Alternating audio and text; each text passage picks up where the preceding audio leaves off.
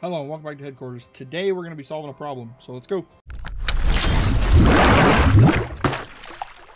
Alright, so in my last video, well it wasn't actually my last video, but in one of my other videos, um, the one I did about admin controls and cheats basically and commands for the game, um, I heard a lot of people in the comments saying how, hey, I can't do that, uh, my, my world is saying that I don't have permissions and things like that.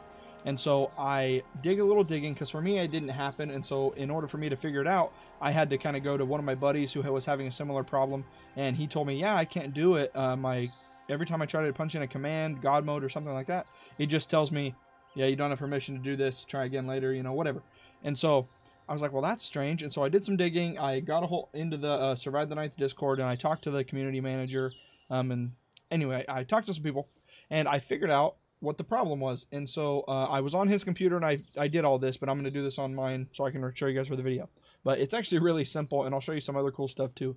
But if you go up here to solo, so let's say you have a world going, like you've already clicked play, you've already loaded up a world, you've typed in, you know, backslash God to get your God mode going. And it says you don't have permission to do this. What you need to do, and it's so easy, and I actually thought it was hard, but it's not difficult at all. It's really easy. But go down here to browse, click browse this little window will pop up right here, config and database. All you have to do is super simple, so pay attention.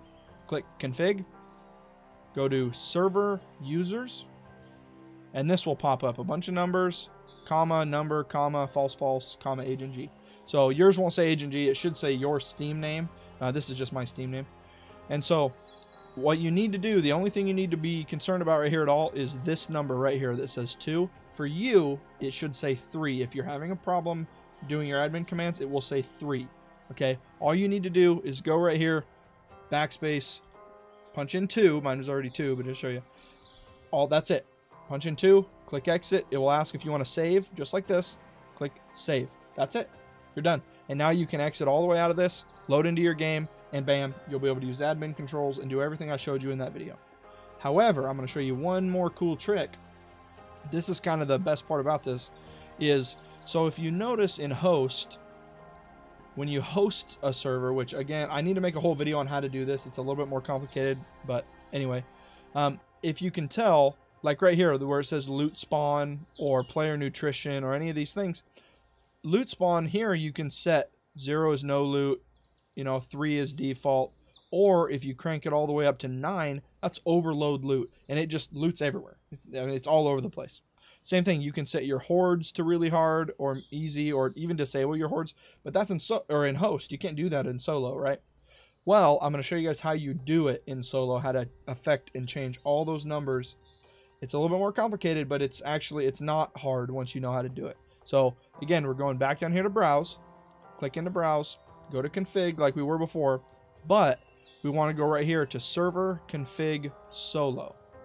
Click that. This is all the configuration options. What we just saw, this is just the actual text version of it. And so these are the codes that are in the game.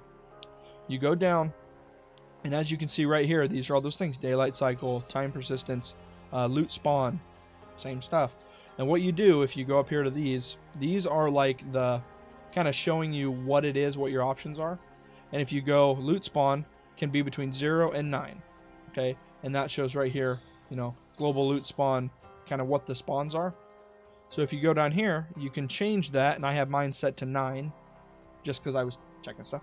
But so I have mine set to, not, uh, to 9, loot spawn rate 9. You can also change the vehicle spawn rate, so there's cars all over the place. You can change the zombie amounts per horde. You can change the horde difficulty. And when you first click into this, they will all be set to the default, what they normally would be. And so your normal horde difficulty is just 2, that's the default. Um, but you can crank that up to 3 to where it's super hard, or you can drop it down to 0 where there's no hordes. And so that's just maybe you're recording videos, maybe you're just wanting to goof around with friends or, you know, whatever you can come in here and edit those things and change what you want to do. You can also change the server passwords and things like that, which you should. It's solo, so you shouldn't have to do that. Um, but so just beware of what you change, because if you come in here and accidentally delete, you know, off the 45, now you have four minute daylight cycles, and days are just going to roll by. So be be careful what you push, because these are kind of sensitive numbers. But this kind of helps. Hopefully, will help you guys uh, see what you know what you need to do to change the game, make the game a little bit more fun. So, and again, it'll ask you to save, and then you just back out, click play, and it will load up, and you'll be good to go. And so, yeah, that's kind of all for the video. I hope you guys enjoyed, and I will see you next time. Bye.